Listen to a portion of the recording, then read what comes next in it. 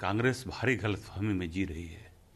सुंदर चेहरों के आधार पर इस देश के लोगों से वोट नहीं लिया जा सकता है।